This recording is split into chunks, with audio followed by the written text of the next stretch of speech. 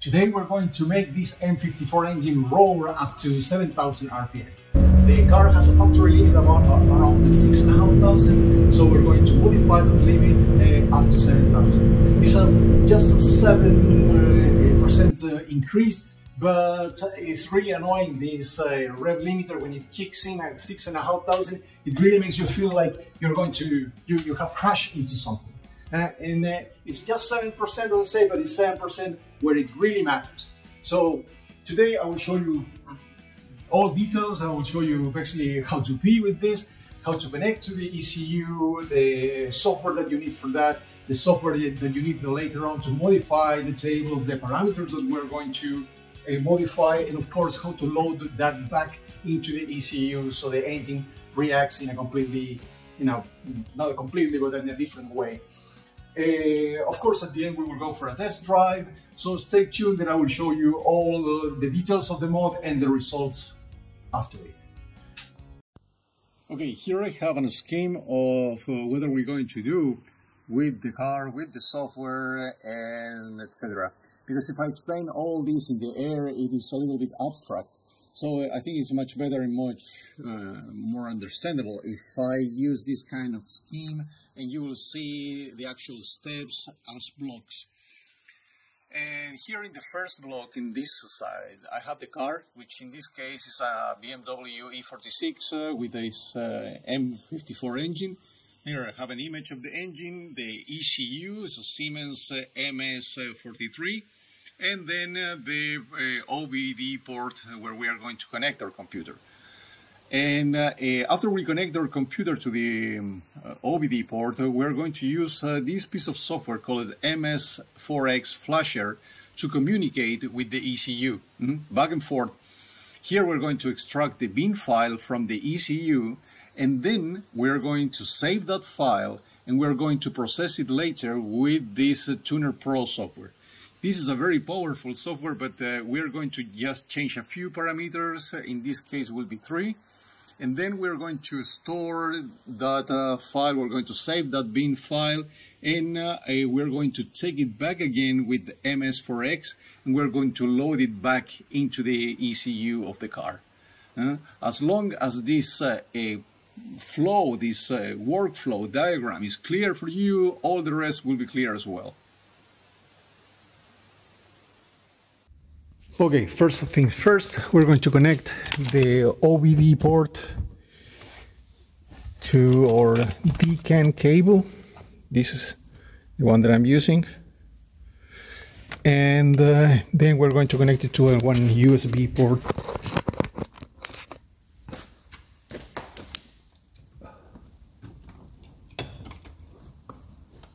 So here and we go with the key to position 2 so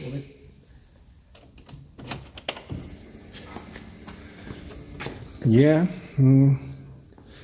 so at this point I'll change to the screen recording and I will go here first.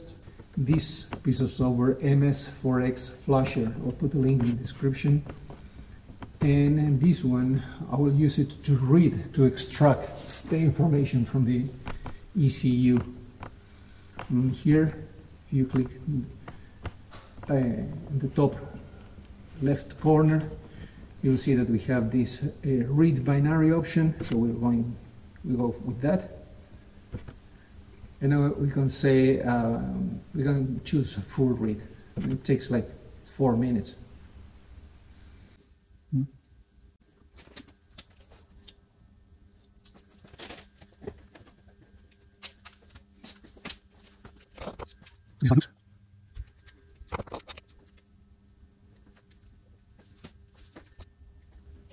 So now it's about to end. It's already reading the calibration section. And uh, remember, this is a full reading of the ECU. Now that you have your full reading, you you want to, to save that file because this is a file that we're going to process. And here we go with the save binary.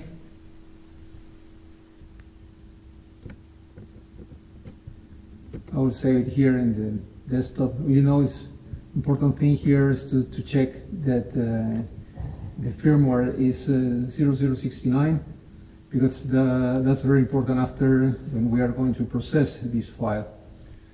So we will call this one uh,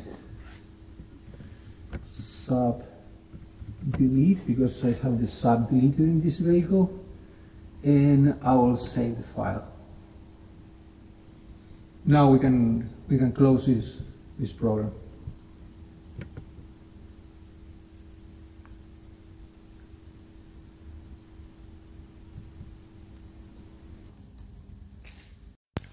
Okay, now it's time to process that bin file that we took from the ECU and to do that we're going to use Tuner Pro. And here we have a warning. It says file to open. Of course we don't have a selected one. So let's proceed. And this is a very friendly software. I think that uh, it is quite easy to use. Even for somebody like me I'm not a professional in this field. Uh, it just has some few restrictions one important restriction here is to use the right XDF file. The XDF file is kind of a template like uh, the structure where you're going to load your bin file. So if you are working in my case, or I am working in my case with the firmware 0069, I have to use a bin file that is 0069, right? Here I have the 0069 with the subdelete. So we're going to open that uh, that file. And uh, here you see already all the tables are already uh, populated.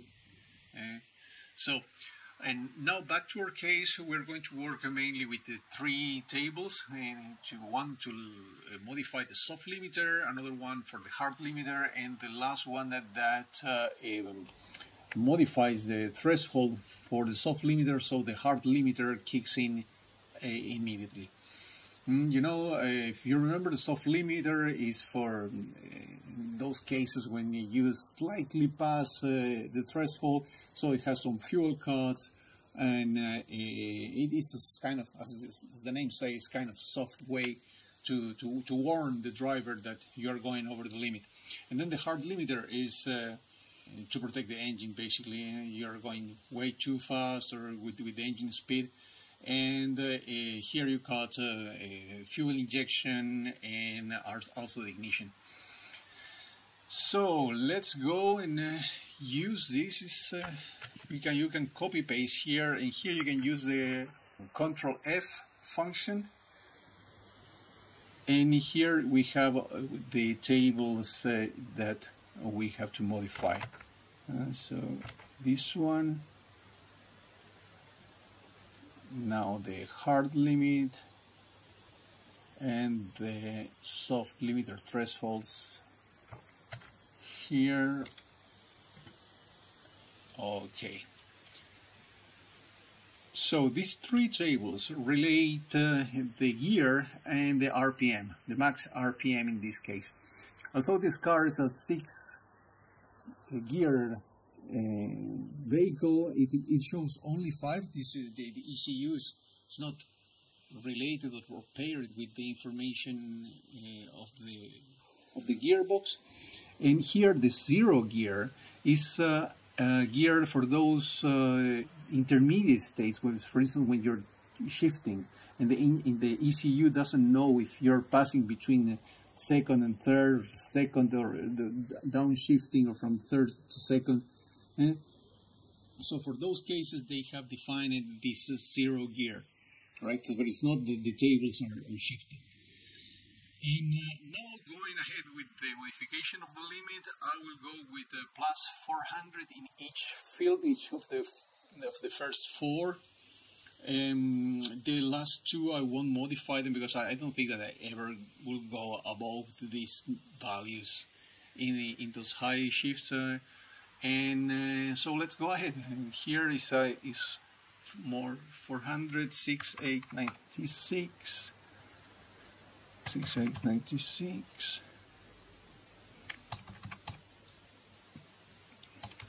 6896 96 six nine two six nine two six nine two. Sixteen hundred. Seven thousand lovely value for this engine right? Okay and uh, here we save them. And now we have to we, we just save the tables but now we have to save the actual bin file. So here we go we go with the save bin as and we are going to change here the name to plus uh, rev lim 7k and save this and now we can go and uh, upload this file back to the ECU using MS4X Flasher. Okay, now it's time uh, to upload the file that we modified in uh, Tuner Pro. So we're going to open once again the MS4X Flasher, but now we're going to choose the write function. Mm -hmm. The write function you can see it here when you, when you click in the, the top left corner you see write binary you load your binary we have it somewhere in a new folder uh, here the old um, files here EME and this is new folder and this is the bin that we want to uh, upload into the ECU. We're going to choose the partial write because the full write is necessary only when you make major changes like the firmware change or something like that. With the partial write we should be fine at this point. This process should take like, I don't know, one, two minutes max. It checks the, verifies the checksums and starts uh, the, the partial write. At the end of this process, we have to take the key back to position 2, to position 0, sorry, and uh, then wait for 10 seconds and then go back to position 2. It will tell you the software is made for this, so it will tell you anyway. Now it says to finalize flashing procedure, turn the key off, wait 10 seconds. So, 2, 4, six, eight, ten, and we're going back again to position two. Now we have to verify that the car actually starts. We'll close this software and we're going to start it beautiful. So now it is time for, uh, for test drive. We have here perfect conditions to do this uh, 7000 RPM test. The roads are dry, it's partially sunny, Saturday morning and not much traffic. So let's go for it. Here I have installed a GoPro so you can you can see in detail the dashboard and I will set this camera up here so you can also enjoy the beautiful, the beautiful landscape that we have here. Let's go for it.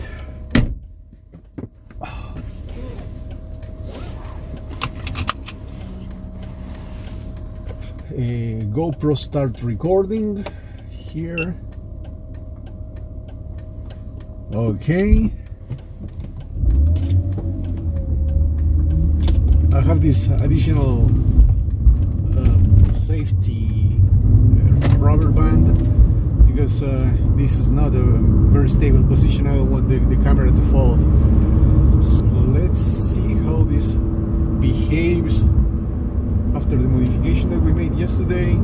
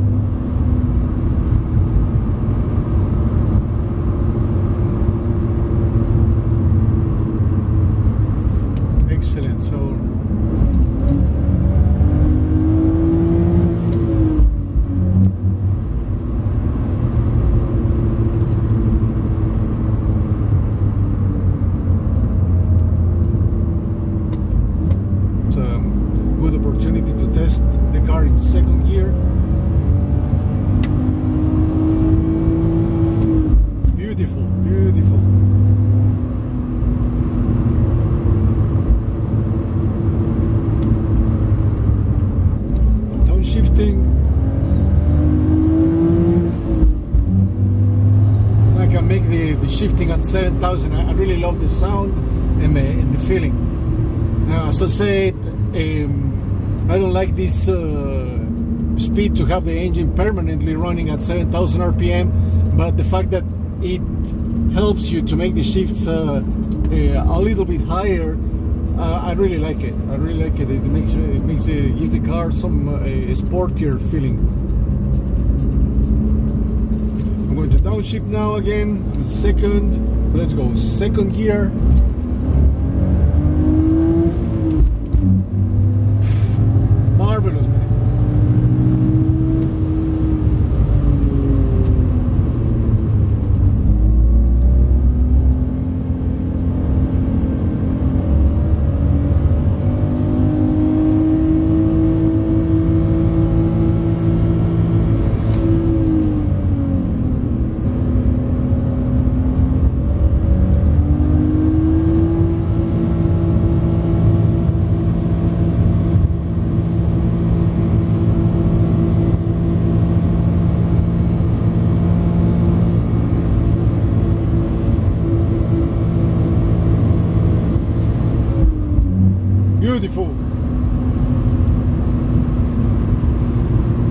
important thing that is that we are making the test with the load and with the real situation. It's not like the cars that are making this modification and making the trial uh, in a garage with, with the car in neutral. We are doing it in, in real condition, in real road, uh, maybe stressing a, a little bit too much, but it's just for the test. It's, uh, uh, as I said, I don't drive uh, that way, this way permanently.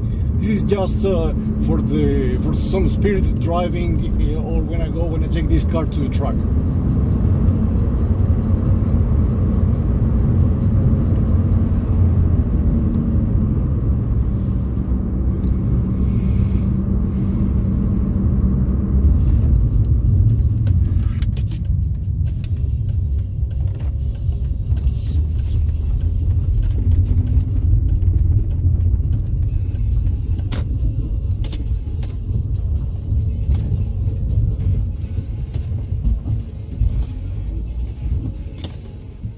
This beautiful landscape in the background, I'm closing for today. You have seen all details of the modification from A to Z, uh, what you have to do, and also the drive test at the end. You have seen the modification is simple, it's cheap, and it's very, very rewarding because you can immediately see the results of what you have modified on the, on the road. The car can handle it. It is not, the test that we made is not a test with the car uh, parked in the garage. This was a kind of real condition, so uh, I see no risk to, to implement the modification as long as you use it, let's say, criteriously. So uh, that's it for today. Thank you for watching and see you next time. Bye.